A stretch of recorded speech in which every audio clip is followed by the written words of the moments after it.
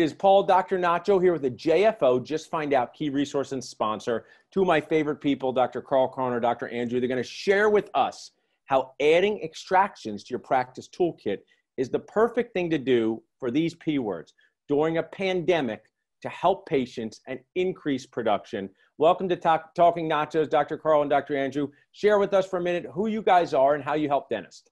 Well, so I'll, start first, Andrew, and then you. Um, so we're both general dentists, but we only do oral surgery.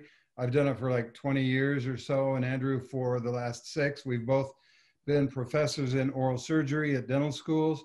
We are passionate about it. We have a lot of good ideas. They're evidence based. It's not just you know what works. It's it's what works for a reason. And uh, so we like doing this. Andrew, what do you have to say?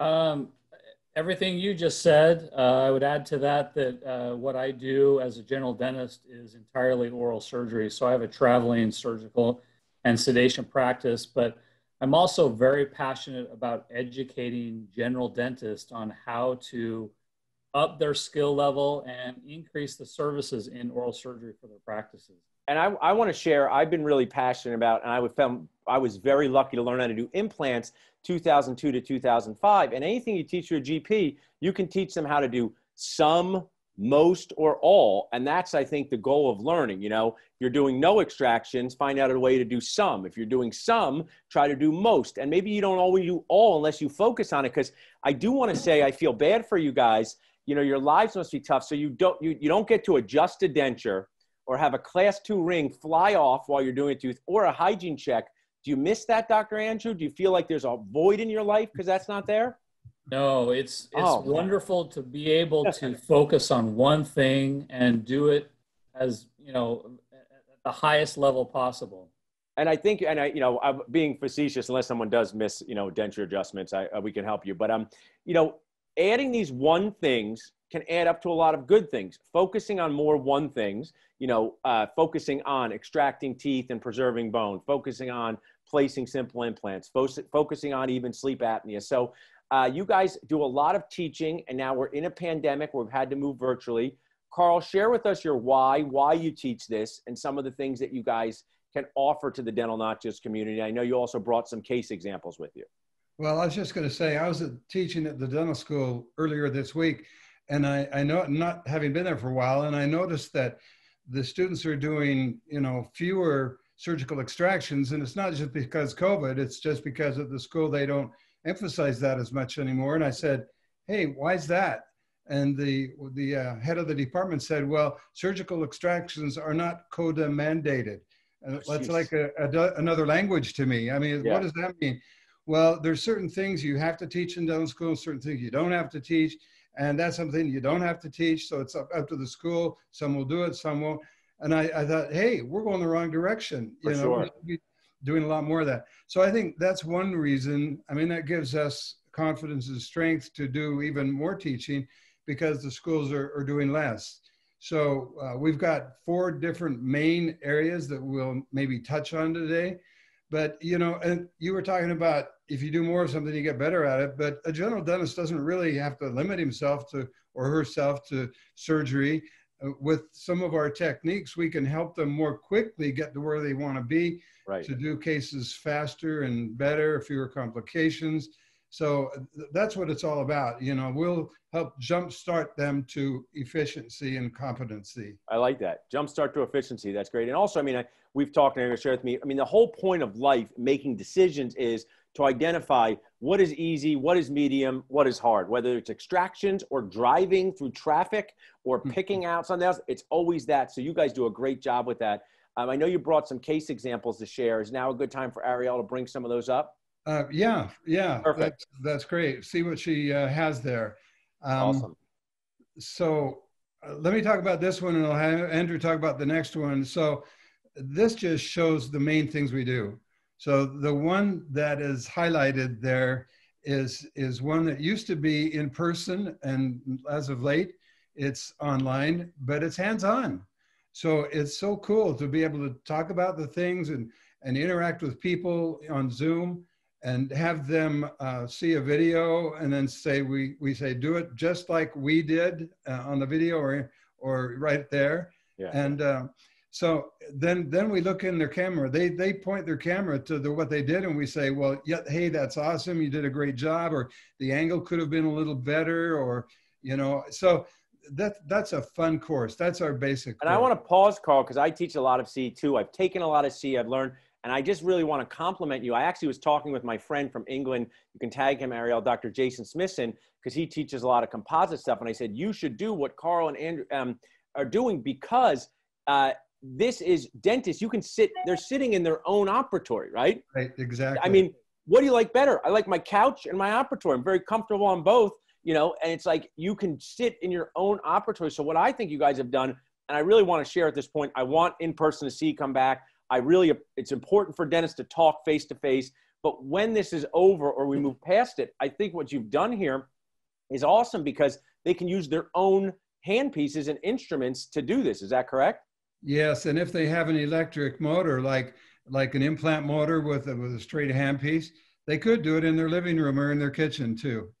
Oh, nice. That's that's really that's really awesome. Yeah. So this is the two-day online hands-on model workshop. Just workshop. That's going to be September 18th and 19th. Uh, that's, that's right. coming up. Gotcha. That's right. And we'll drop a link in there. And I know you have a nacho uh, deal for us, which we appreciate. That's so true. Uh, we're just beta testing something where after that course, they can do a one on one with Andrew or me, where we'll take an hour or so just with them personally.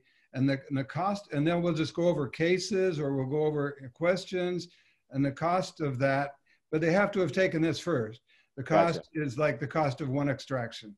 Yeah, I mean, that's so valuable. What I want to encourage dentists to do, some people, I like to kindly annoy them into good ideas. Sometimes my wife just regular annoy, but I like to think it's kindly annoy. Do this, you learn the skills to use forever. Your ROI is not just production, it's happiness, it's confidence, it's being able to help patients. And I know from being in my office this week, while I'm so collaborative and working with specialists, whether it's in house, whether it's outside the office, things have just gotten into a molasses mode of trying to go to another office. So if you could, if you have 10 extractions and you can take care of four of them, there's just something that doesn't show up on the stat sheet. There's something that's priceless about being able to do that, especially during this pandemic time. Let me quickly just mention the other three. The one on the left is live patient treatment, and the one on the right is uh, eight hours online, where it's just didactic online if that's what they want. Awesome. And then, then the one on the far right is what Andrew is going to mention, and that is where we take a hard tooth like a lower first molar that's bombed out at the bone or or divergent roots and maybe a hard upper first molar or a long canine and we dissect that no pun intended but we go step by step exactly what if this happens what if that goes wrong and we just do it in in in detail. Awesome. Tell me more about that andrew and this webinar you guys having come coming up on august uh, 24th 25th here so let's go yeah, to the so next, let's go to the next image. Is, Ariel, you can uh, go one pass for them. Perfect. What we're going to do is go through the step by steps required to remove a difficult lower molar. So, you know, dental school does a great job of teaching routine extractions, but you know, how many times is a molar turned into a surgical extraction? 70% of the time? Yeah. Maybe even 80% of the time? And then there are other complications that arise from that as well. So we're going to go through um, the procedure of performing a surgical extraction once things turn difficult, when that crown breaks off, um, when you don't have access to much tooth structure and it's chipping and chipping and chipping and you just don't know what to do.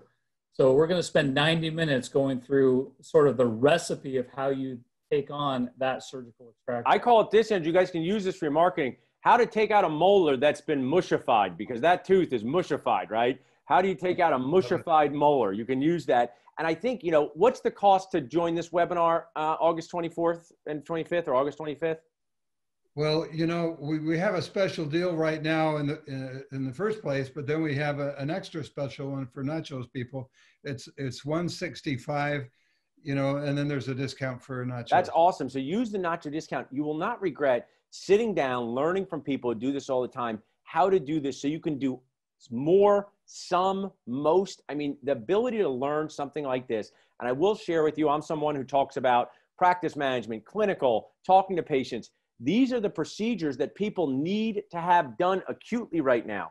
This is not chronic, it's acute. So if you're looking to stay in business, as we all do, just want to let you know you cannot help any patients if your office goes out of business. Zero patients. You can't offer it in your living room. So you got to keep your office in business. So when people come in with these problems that are acute, whether it's a pandemic where the economy is great, where the economy is good. I mean, Andrew, you we have an oral surgeon, we have a GP focused oral surgeon like yourself come into our practice, and maybe just for a, a minute, how are your case? I mean, I'm assuming your cases planned by the general dentist office are people who really don't have a choice whether to get you know the treatment or not. You know is, is that accurate?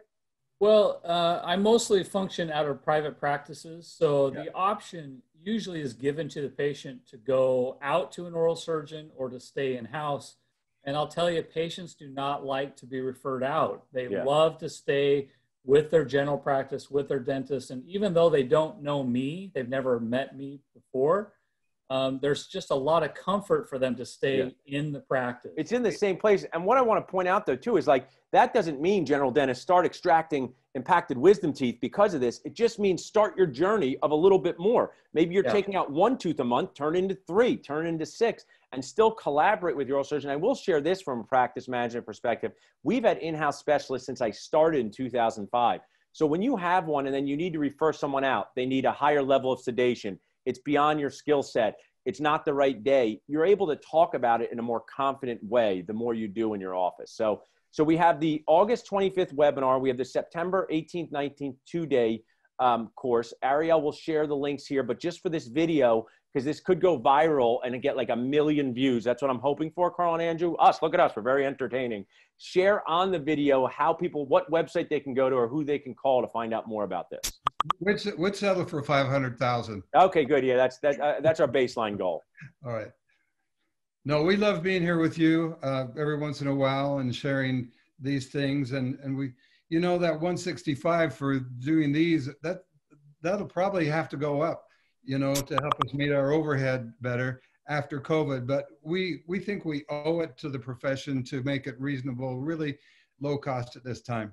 I love that. And, and our dentist like a deal. What is the website where they can find out more about this, just so we have it on the video and or any phone numbers they can call? Well, and so we've simplified our website. That first image right before this one, that is our Go back to there, Ariel. Perfect. Let's put that up for everyone to see before we jump off. We go back. That is our homepage. And it goes from there into we have other things. We have third molar situations where you can go watch somebody do third molars all day or have someone go to your office and do third molars in you in your office with you um, you know watching or doing so there's more stuff but this is our homepage this is our basic um, menu if you will of what we have I love it, menu. And this is koernercenter.com. Is that the website? Koernercenter.com. Koernercenter.com. There's the phone number. Start your journey. Become more aware of how extractions can help everyone in the office the patients, the team, and you during this incredibly annoying pandemic. Embrace something that patients need. You can help them and get the training here from the comfort of your own couch. So I appreciate it very much, guys. Thanks for being awesome Nacho Key Resources and sponsors. Uh, and uh, we'll talk to you guys soon. Thanks a lot. Thanks.